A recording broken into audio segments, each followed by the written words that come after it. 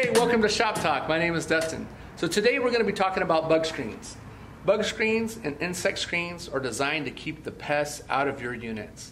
Whether you have a water heater, refrigerator, or furnace, when they're building these, the manufacturers of appliances do not install bug screens. We always kind of chuckle and say, why do they do that? It's such a simple, easy item to install. All these bug screens are stainless steel, they're easy to install, and they're going to help protect and save you thousands of dollars on your appliances.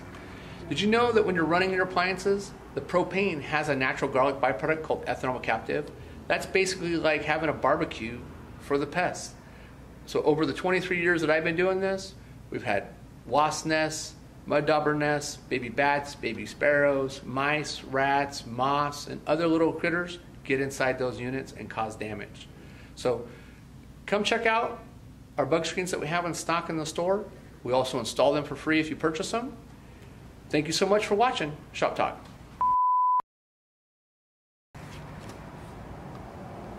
Hey, welcome. Ah, You become my a man? Yeah.